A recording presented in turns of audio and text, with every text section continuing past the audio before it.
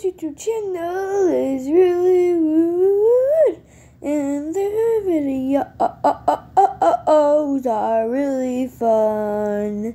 And this YouTuber is me, Kaitlin Lara.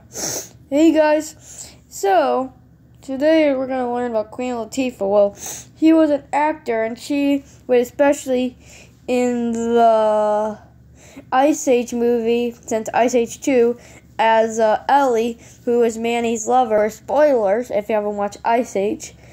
And James K. Polk, who's the 11th president, part of the Mexican American War, and he annexed like the Texas Republic and the Oregon Territory. Well, hope you have a great day, and I'll see you in the next video. Bye!